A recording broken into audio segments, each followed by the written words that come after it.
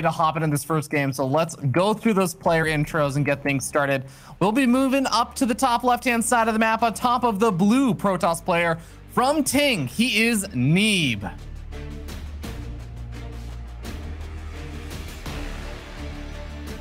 And spawning over in the bottom right-hand side as our red Protoss, it is Alpha X's Astrea.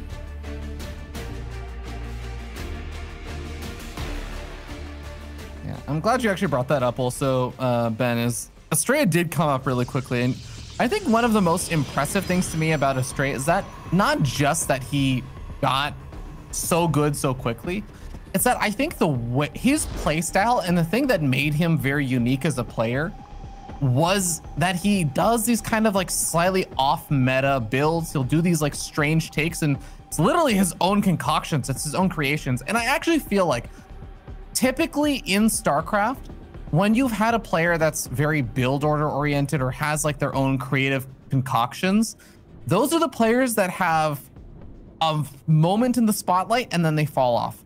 Astrea has had staying power though as one of those players, and that is truly impressive to me. This is really weird, by the way. Like, Neeb pretty much crossed the entire map, and then he's like, you know what? With my probe, I'm just going to go back to the north side of the map. And Astrea, he's kept his probe hidden, has also not really scouted. He's kind of scouted around a little bit, but okay, this is bonkers. No, this this is exactly what I was expecting from a series between these two players. Uh, well, Neeb is going to have his uh, hidden pylon, kind of like you said, still on his own side of the map. He's not sending his probe back over there, so he's not planning to proxy anything. But yeah, Astrea is going for the the ultimate in-your-face proxy, and I think that this is also probably a great identification by Astrea, just that he knows that Neeb is the kind of guy who will send his probe all around the corners of the map looking for things. And he's not just going to go for a beeline back across the map and then move his probe back home. I, am thinking he thought he might be up against a one gate fast expand, you know, because up until that point, all the info that he had, he was blind as a bat. Like he made that call to go for the pylon, like he did, and the gateway, uh, before he scouted anything. Um, and when he when he kind of saw the base, I saw his head kind of twitch a little bit. Like this is definitely mm. an unusual situation. Oh my goodness, are they going round? But the the probe's going to see it on the way back. yeah, he, he, will end up scouting it. And let me tell you something, Ben. That pylon's looking a, a little bit vulnerable if he didn't know that there was probably going to be two more stalkers joining the fray. So I'm glad that Neeb does not stick around and just end up potentially losing a bunch of his stalkers over here going after that pylon. Uh, this is uh, gonna get hyper aggressive hyper quickly, but Neeb is doing something pretty interesting. He's already thrown down both of his shield batteries at the natural before even starting up his Nexus. Yeah, he certainly has. And Astrea, he's kind of stepping it back a bit, isn't he? He's going for a Nexus. Yeah, he's building up quite a stalk mm -hmm. account over here, but getting a Nexus, getting a Sentry, so that can kind of make sure that he can get scouting information afterwards. But look at Neeb, he's just running in with a probe, and he's like, oh, you're taking a Nexus with this, huh? Yeah, I'm in pretty okay shape. Yeah, we're going to see Astrea start to poke on forward. He's going to look for opportunities to pick off some of these stalkers, but after seeing both those shield batteries there, looks like he's going to back off for at least a little bit and rely on, well, the fact that he has an extra warp gate and he should have oh. a larger number of warpins for a bit. Look, look at Neeb. He's being so cheeky with this probe. like, if he goes back there on the high ground, he can see everything that's going on. And, I mean, you didn't get to see much, but, oh, what a weird, weird start to this game. It's so weird. I, am having the sickest uh -oh. sense of deja vu. Like I've seen this exact game before, but uh, I mean, this is definitely where it's going to get into a, very interesting spot as we do have a Twilight Council coming on up. And as Astrea just kind of has all of his units in the center of the map with literally some of his production in the center, he's going to be able to use the sentries to get some scouting information everything. But is he actually just gonna wait for Blink? No, he is gonna retreat back home. Okay, I was like, there's no way, Astrea, you can actually just sit in the center of the map until literally you finish up Blink and then go, right? Okay, so Astrea saw this Oracle with his hallucinated Phoenix, and Neeb knew he got spotted, so he's like, you know what? I'm gonna put a stasis here. And then because he caught the army, he knows that he can't fight to keep this gateway alive and this pylon. This is mm-hmm. just some nice decision making by both of them, but I'm really liking how Neeb's just taking what he can to just get every little bit of an edge. Well, Oracle's going to come in over here, and uh, Stalkers will be able to force them back. I love the Revelation over there. Is going to catch wind of everything that really needs to be scattered over here, including the fact that there's that Twilight Council already finished up and clearly researching something. Uh, it's usually going to be a pretty safe bet to assume that that's going to be Blink at this stage in the game. Yeah, definitely. And they're both starting up their forges as well. Uh, forge is usually uh, a good building to make when you know you're not going to die anymore, when you feel that you're relatively safe. Oh, where are these probes falling? I guess between the bases, right? Yeah. Oracle finding just opportunity to catch some of those transferring workers, but uh, well, Blink is about to finish up here for Astrea, so I think that Oracle is going to have to be extremely cautious if it wants to stick around. Definitely done its job though. Uh, mm-hmm. Granted the uh, gateway kill, the pylon kill, and got a few probes and scouting information it's just a really good start for uh, the Ting Protoss. Yeah, absolutely. Uh, now the third base coming on up in the more forward position over here for Neeb. It's funny because this oh, a little bit of a miss micro there from Astrea. Misses the blink with his bottom two stalkers. Funny enough, yeah, he's gonna be able to at least escape out of there alive and well, could have maybe gotten like two more probe kills there if he had uh, done the proper blink up. But at the end of the day, gets a few worker kills and doesn't lose anything in the process. Actually, Ravi, I think he could have got way more. Like one shot in probes is so different, and just mm. that hmm. two stalker warping wouldn't have cut it either. Um, I, I, that was obviously a massive blunder for Astrea, and that's a big timing window gone. And he saw the third going up for Neeb. Mm-hmm. It's just, it's all a little bit rough. Hmm.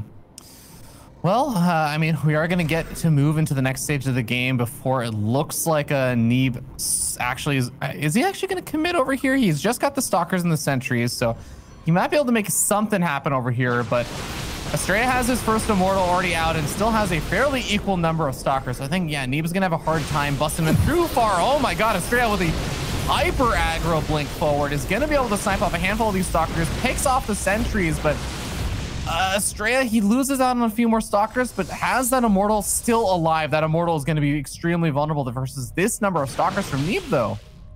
I feel that Astrea's playing really reckless this game. Like, a lot of it is just... Mm -hmm. Was was that a good fight for him? Absolutely not. Uh, behind it all, Neeb is getting his plus two along with charge. Astrea actually chose to neglect charge for now, but he's getting immortals and what have you. But he is in position if Neeb does blink, and oh my goodness, he went for it.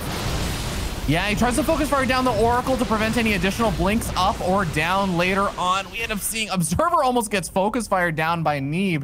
Doesn't quite manage to get it, but uh, I mean, overall, solid defense there from Astrea. Doesn't let that uh, very annoying blink up spot cause him too much trouble.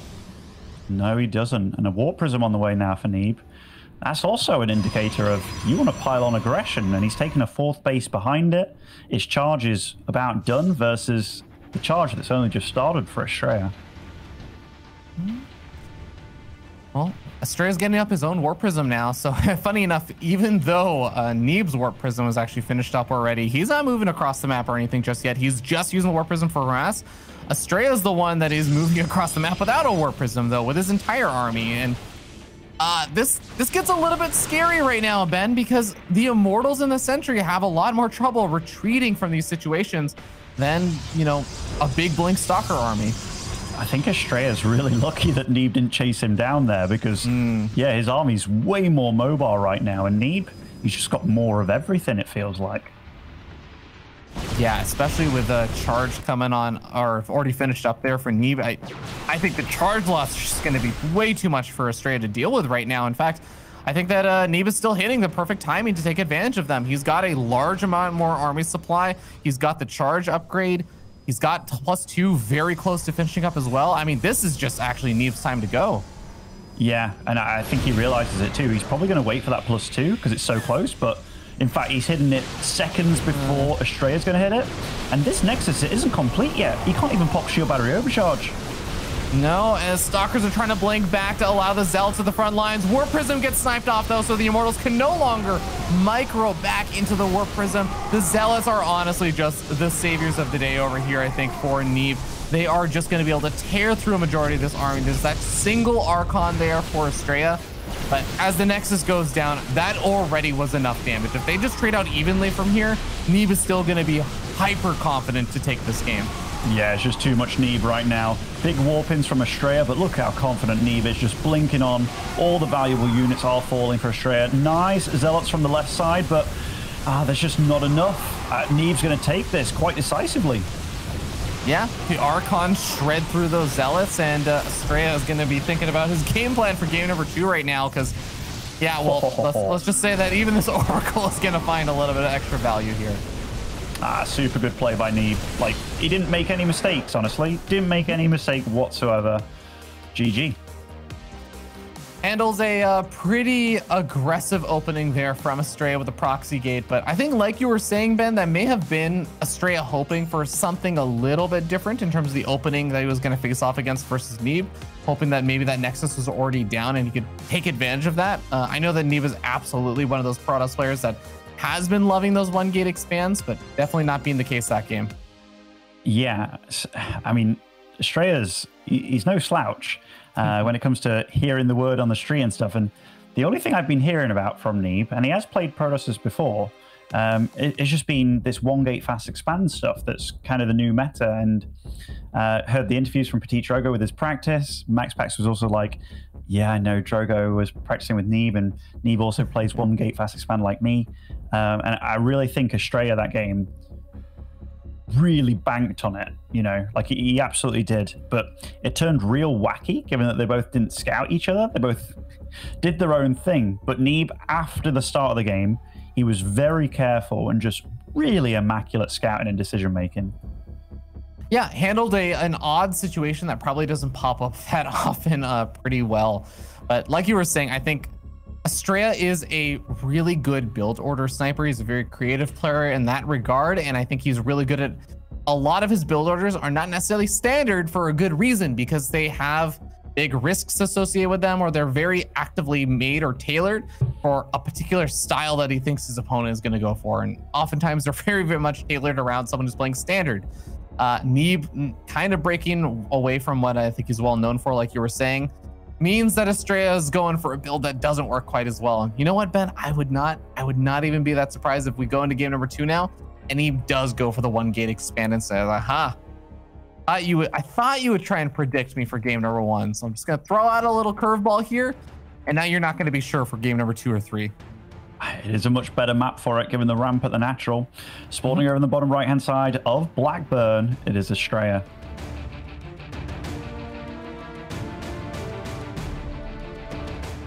Down here in the bottom left-hand side of the map, we have the blue Protoss player from Ting. He is Neeb.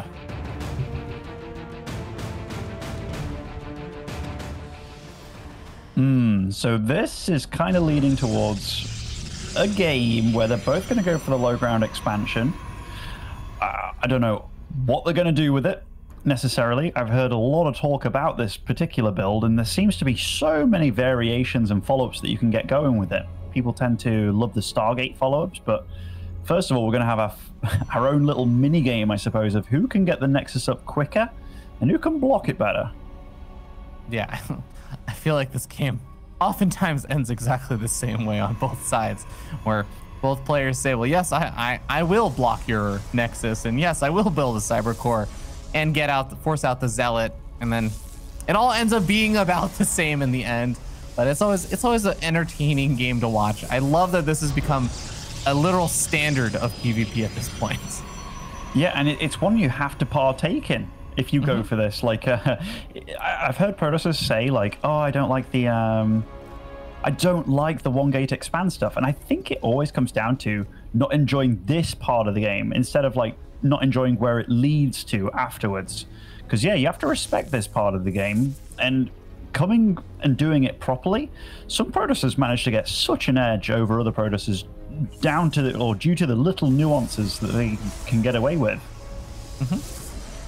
Well, we already see that the, the Zealot is out over there for uh, Neeb and hasn't quite got saved up those minerals to actually throw up the expansion.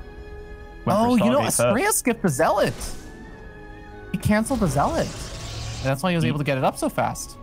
He did, yeah. And also, I guess the probe wasn't there in position, right? So he could get away mm. with it. So I, we saw a similar situation like this though between Max MaxPax and Drogo, where on Oxide, Drogo went for the earlier Nexus. MaxPax was like, he had the ability to make the Nexus, but he chose the Stargate first. That kind of stuff mm. can really like. I'm, I'm looking forward to see what Neeb does with it. Yeah, what is he going to be sending across the map? I mean, Oracle definitely is the unit that makes the most sense usually in these kind of situations. And we see a Twilight Council coming out over here for Astrea. Now, Astrea went for hyper fast sentry, right? He killed off the scouting worker with a sentry. So this is going to give him really, really good scouting intel. And we already see first Hallucinating Phoenix coming on out. I mean, it is literally a Protoss player that has only made sentries this game. He's, of course, going to have hyper fast scouting. He is, and he gets to see the Oracle, so he's going to have three units that shoot up, but only one Stalker. And Neeb does come along, and he's like, aha, a full wall off here as well. That, mm. I mean, it, it is an unusual game, Ravi, and oh, I'm, I'm, I'm really looking forward to see where this one leads us. Oh, uh, honestly, I want to actually say it's like it's a 50-50 there. Uh, Neeb, I think, made the, bad guess on it because either. Oh, I love the hallucinating stalkers. That's that's cute but I don't think it's going to come into effect. Uh, if Neeb goes to the main base, I actually think the shield battery was a few seconds away from finishing, and Neeb probably could have killed a couple of workers there. But he went to the natural expansion where the units were instead and had a little bit more trouble actually finding anything. So uh, Neeb kind of loses the 50-50 on that, but good on Astrea. Hmm. Oh, ho, ho. Neeb going for a Dark Shrine. Where's he making it? Right in his main. Oh, definitely interesting. Uh, seems like it's gonna be hard to keep that under wraps, given you know, Sentry's hallucinating Phoenix scouting and everything. But yeah, maybe he's gonna be okay with it, I guess. Yeah, definitely interesting. He's also getting Blink at the same time. I mean, that's a lot of gas being used in quite a lot of tech. Mm-hmm. And he knows that his opponent has that gateway wall off, so like Astrea leaving his base and taking a third. Aha, he went for the pylon trick there to get outside of the gateway. Mm. So we'll be able to start his third Nexus up now. Yeah, it's important to note that even as Astrea comes in to scout this Dark Shrine, he has not started a robo or anything just yet. He can kind of start up like photon cans or something, but it is also potentially just going to be nice to have those DTs out because you now have to wait for the robo and the observer to finish before you really actually have any sense of map control. Uh, the third base even could potentially come under a little bit of fire if there were really quick DTs warped in from a proxy pylon or something. Don't actually have any proxy pylons or even like a warp prism or anything out from Neeb though, so not really going to come into effect as much. Yeah, definitely. And what do you think about uh, Neeb's follow-up from this point on? Uh, just like adding on the third base, getting up additional gateways, and getting up Blink. Oh, just like what do you think he's gonna do? Like, how mm. is he going to meander around the map after seeing how Astrea is playing? Uh, yeah, I mean, I think it's like really you can just kind of use your blink stalkers, try and be a little bit aggressive, but you have to be a little bit cautious about not running into like an overwhelming number. But I think from there, then usually you're going to warp in maybe a couple of DTs, get up an Archon or two if you start seeing those Zealots getting warped in from your opponent. Uh, this is a bold move over here from Neeb to try and go for this Blink Stalker play to the main base, but since there's not really a whole lot of vision over there, it seemed like it maybe could have paid off. Neeb just decides to blink back though. Astrea is very, very close behind him on that. Yeah, that was close actually. Like that could have really bit Neeb in the bum. Uh, revealed himself a little bit and then oh, could have been bad on the retreat. But this game's far more similar in what they're both going for. Ah, is Astrea going to try his own luck with trying it in Neeb's base here? Neeb is a little bit uh, more, I think, prepared with a pylon over there. It's, it's in a more obvious place too, so Astrea will realize there's a pylon over there. I actually wonder if he's just gonna go after the pylon for free damage. No, he's actually tax the pylon once and then moves on in. There is a massive Artosis pylon over here. It's powering two warp gates and two still building warp gates and the Dark Shrine and also the Forge. But uh, not enough time to actually take advantage of it over there for Astrea. Oh, I was thinking if only at his own observer, right? That observer moved so slow in that slow zone. Astrea, though, being cheeky, taking his fourth as the gold here.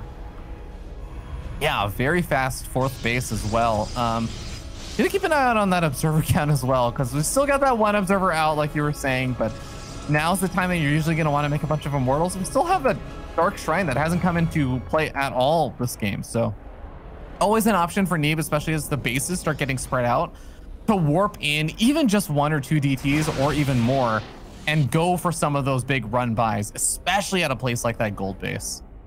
Yeah, it's definitely weird that the DT or the Dark Shrine hasn't been utilized yet at all.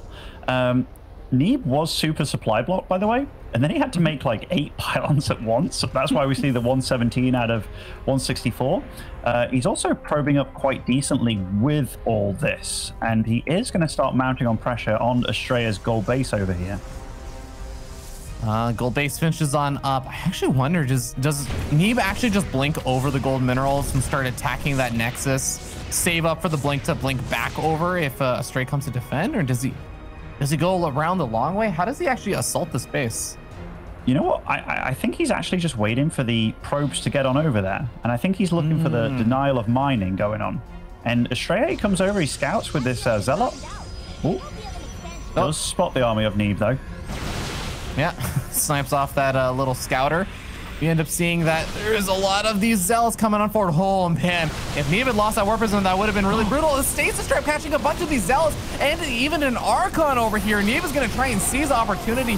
Tries to go for some Force Fields to lock out his opponent. Doesn't quite get anything, but now we end up seeing Neeb just charging on forward. There's the Photon Overcharge, or sorry, the uh, Shield Battery Overcharge finally coming on into effect, but Neeb is already cleaning up so many units over here for Astrea. These stasis wards have been crucial in this game. I didn't even see it happen, but the fact that it did, wow, Astrea just had like 12 supply extra less in this fight, which was huge for Neeb. And now I think Neeb could just sit on the other side of this gold base, and that's exactly what he's going to do. Oh, nice move by Astrea, though. Yeah, Blinks on forward is going to be able to snipe off at least a few of these units, and it also absorbs the uh, the natural targeting and everything for uh, these units. Wouldn't mind if uh, Nee was able to, or sorry, Stray was able to get one of these Immortals to the front lines, but these Forces are just locking him out. Zealot warp in inside the main base is a nice way for Astrea to fight back a little bit over here, but man, he is taking a lot more damage I think he's dishing out so far. Yeah, losing some probes as well, and DTs can be used for defense. That's mm -hmm. why I got the Dark Shrine. Yeah, definitely a nice way to handle some of those Zealot warpins. Those DTs do damage real, real fast. Another Stasis Trap has to come down. There's a nice pick off there from Astrea. Gets the Oracle. Uh, denies the Stasis Trap. Stasis Trap, another uh, number two, does get set off over there by a single Zealot, but was just going to back off after everything that's happened. And he's probably going to feel pretty good about his position in the game now. Yeah, I don't think he needs to really lean on too much. Granted, there's a gold base, but look at the probe count. It's actually very good for Neeb. And despite that gold base, if you have a fully saturated, uh, like normal base, it mines almost equally uh, with a gold base. So no worry for him. Double Robo Bay does start for him. I dare say that's a little bit of an error, but pretty much the first one from Neeb this game. Yeah, hopefully he'll be able to uh, notice that later on, but he might be a little bit preoccupied with this fight that's uh, about to break out over here. I do want to know that, I mean, it's an even number of these hmm. Archons for both sides. We see a lot of Zealots on either side, and these Zealots are going to get chewed through by the Archon splash damage. It does seem like Astrea has a few more Zealots in the mix over here, though, and oh, there's more Zealots coming in over here finally for Neeb. This this choke point over here and this high ground is making such an awkward engagement, I have to say, for Neeb, though. I don't think she think is an observer of the army, so he doesn't really have a lot of high ground vision. You know, the crazy part is, like, Neeb was supply blocked during all of that out of 188. Mm. And he hmm. couldn't warp in more units, even though he wanted to. Uh, but I, I, love this. I love the posturing at this gold base just behind it. Because look at the pro count now, like oh. 59 to 80. Oh, what's happening over here? Yeah, I mean, DTs are great for cleaning these units up, but they also have one fatal flaw sometimes, which is well, they don't actually divert the attacks of your opponent. So even as the Observer shows up, those DTs get cleaned up. The Observer does end up, uh, I guess, surviving through all of this. So Astrea can at least come back with that. And Astrea also pulls Neeb back for a little bit, gives himself some breathing space. Yeah, interesting that Neeb went for the recall there as opposed to like warping in more zealots. I'm guessing he just warped in a bunch of units. Um, mm. But there is one big thing that Astrea's missed out in this game, and I don't know if he's noticed it or not, but the transition that Neeb was going for behind all this, disruptors are now available. Disruptors are definitely going to be big. Uh, I mean, Astrea can at least leverage one of the key things over here also, which is all of Neeb's Archons have been coming from Dark Templars, which is the more expensive way to do it. And that's also the reason why I think Astrea started having more Zealots toward the end of that fight, just available. Because when you make it from High Templar, you aren't spending as many minerals. And we're starting to already see that there's a lot more Archons over here for Astrea. If he can take advantage of that, I think he still might be able to find some kind of victories here in some of these fights, but it is going to be very tough with those disruptors coming into the mix. That was four Stalkers just going down for free there for uh, Shreya. He's 20 supply behind here, but that kind of could be measured out in the amount of probes that he has less than Neeb. But Neeb, he's just posturing over here, and he will be able to snipe in a moment before the fight even begins. That is a really big pickoff, and now I almost feel like Astrea is forcing himself in a position where he just has to go for it. But now he's half his, army, half here. of his army's attacking the Nexus. I, I mean, he's not even going to get this Nexus by the looks of it. This is a real sloppy engagement, and he has to recall out of here, but the Zealots are now joining. They're just like, okay, we'll save you, maybe not. I mean, Ne- Neeb is up 60 supply for a very good reason right now, Ben. It, it seemed like it was not a great position there for Astrea. It was a recoverable position, though. But after that last fight, uh, the, I just don't even know what you can do from there. You're up against disruptors, which are just oftentimes, if they don't take better engagements for you, they at least create opportunities to cre- uh, take better engagements. And now, I mean, Astrea is just out macroed at this point. His army supply is literally half of his opponents. Out macroed, outgunned. Neeb forces the overcharge, gets back, and he doesn't need to force anything. He's got this little Rambo squad of zealots and DTs on the top side of the map, and Astrea takes a fight away from the shield battery, but any fight he's going to take at this point will feel like a bad one. Oh, three Archons. Oh my god. 450 gas disappears and Astrea taps out. Neeb goes up 2 to 0 in this best of 5. 900 gas Fear Dragon, two High Templars, each oh. one with that one. Yeah, that's right.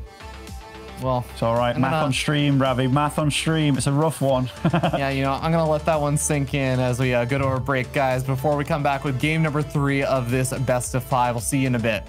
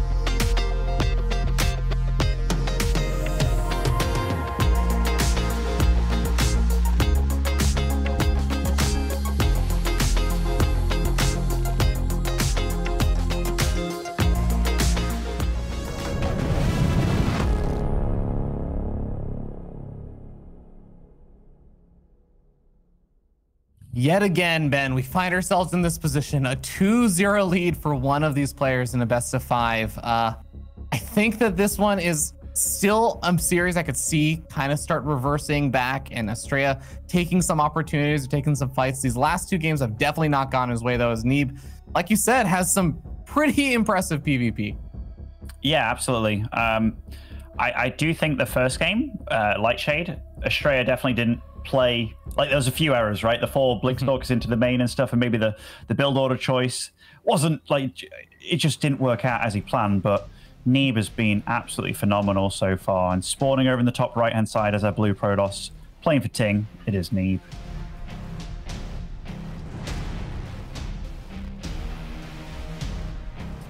Down here in the bottom left-hand side of the map, the red Protoss player, he is Max Astrea Angel.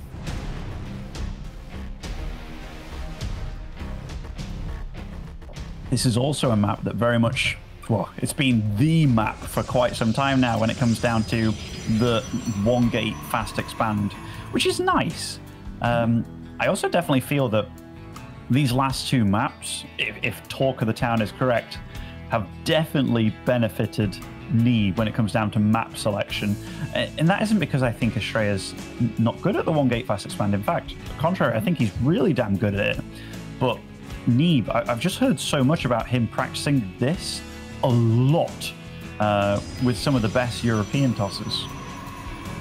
Yeah, I mean, Neeb is uh, he's definitely one of those players that's playing a lot on Europe and is well known, practicing with a lot of the European players, as we even heard, like you mentioned it before. Uh, some of the European players are saying in their interviews that they were seeing Neeb practice with them and everything. So it's uh, not too big of a surprise to me that Neeb oftentimes plays very much like the European Protoss players. I think Astrea is, I he'll usually be the player that I think occasionally will play on EU, but is mostly actually playing on Korea.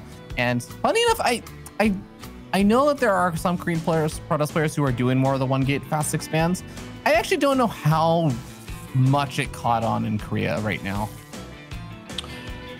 Yeah, me neither. Like honestly, it's it's kind of a new era almost. A lot of the mm-hmm. EU Protoss swear by it, and MaxPax is highly regarded as one of the best at it. Um, Neeb this time is getting the pylon block down, while mm-hmm. also getting the Stargate nice and early. Mm, yes, I mean, you were talking a little bit about this before, how just opting to go for that Stargate can sometimes be a nice way to go about things. Now, two probes on this pylon alongside the uh, the stalker that kind of gets made over here. Astrea skipped that zealot yet again, so he basically had to wait for the stalker, and I think it's kind of necessary at that point to pull two probes at least to start working away at these buildings. And Astrea actually lost his probe, the scouting probe, to a zealot. So Neeb, even though he made the zealot, it came in handy. It denied the probe itself. He gets his nexus up faster, and he has a Stargate. And he's like, you know what? I'm just going to let this Cyber Core finish. And Astrea, did you see that? I think he mispositioned the building, and then he remade it again. Like, he's showing that he's pretty nervous this game, and me definitely wins out the early game here.